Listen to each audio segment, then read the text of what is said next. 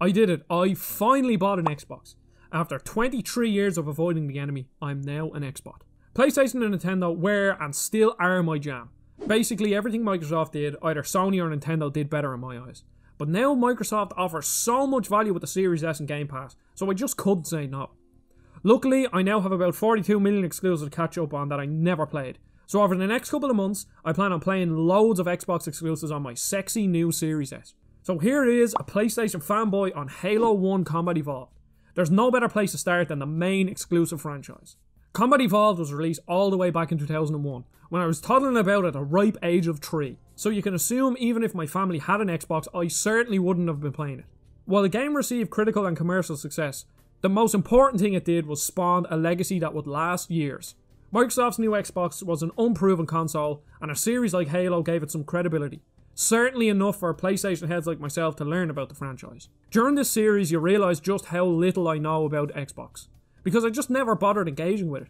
Every bit of media consumed over the years was related to PlayStation or Nintendo, so this will be a learning experience for me and hopefully you too. The game opens up on the Pillar of Autumn, a UNSC spacecraft which is where Master Chief is being stored. I think it was like cryogenically frozen or something. I'm actually going to buy the prequel book because I'm really intrigued in the story, which is a first for me because sci-fi ain't my jam. After a little tutorial and a cool escape sequence from the ship, we meet Cortana, our AI companion. I don't want to go into specifics with the story because it's been done about 400,000 times. Instead, I would like to highlight my favourite parts of the narrative.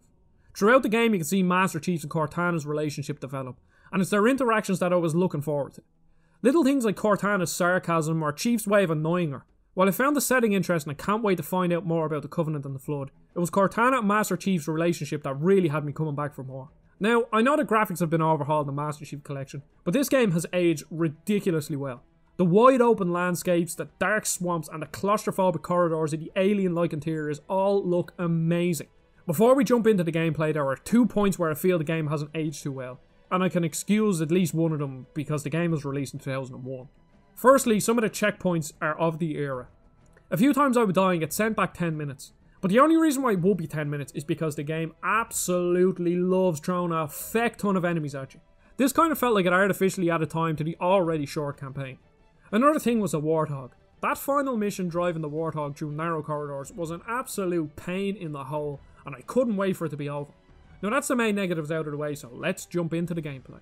Bungie are the masters of gun feel. You can feel it in Destiny, and you sure as feck can feel it in Halo Combat Evolved. And what is so baffling about it is that the game was released in 2001. 2001, for God's sake, all the weapons feel so good to use, especially the shotgun and pistol. There's something about using a pistol in a shooter, and when they feel as good as this, I took every single opportunity to use it. There are two levels I want to highlight. We'll start off with my favourite one, the Silent Cartographer. This is the only level that I have history with. When I was a kid, my dad had a Dell laptop that had a Halo 1 demo pre-installed. Me being gaming mad, I had to play it, but the only USB controller we had was this stupid fucking thing that had six face buttons and square analog sticks. Like, whoever designed that controller should seriously be shot. It was absolutely dreadful. But after what seemed like hours, I finally got the thing running and got to play some of the Silent Cartographer. Back then, I was blown away by the open landscapes and the scope of the level, and I'm still to this day in love with it. When I was a kid, storming the beach at the start felt epic, and while it doesn't feel as epic today just because games have come a long way, the level is still amazing.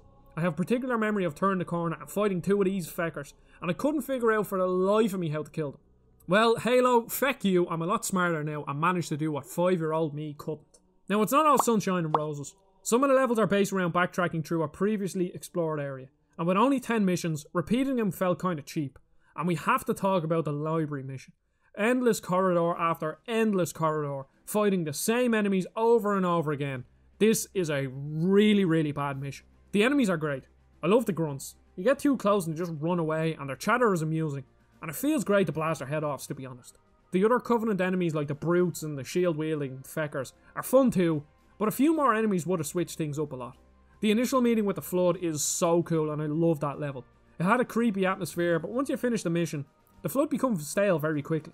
I love the design and the premise of them, but as an enemy to fight, they're just kinda meh. They're well designed, but there's one type that frustrated me to no end. The Hive with rocket launchers that give you zero warning. Spend the last 10 minutes fighting a wave of enemies, then turn a corner and bam, you're feckin' exploded. They don't look any different to the other enemies, so there's nothing sticking out saying avoid these at all costs. as a starting point, Halo 1 is fucking amazing. I'm genuinely blown away at how this game was released in 2001. And if it's anything to go by, then I cannot wait to jump into the sequel. There's so much established here from an amazing world to two characters that I just can't wait to see more of. Now, I'm not sure what my next Xbox game will be. I might go to Fable 1 or Gears of War, so stay tuned for the next part. Anyway, this is slightly longer than usual, but I just had to talk about the game. I really appreciate you watching and would love to see you join the Discord down below. Don't forget to subscribe, and I'll see you all on the next video.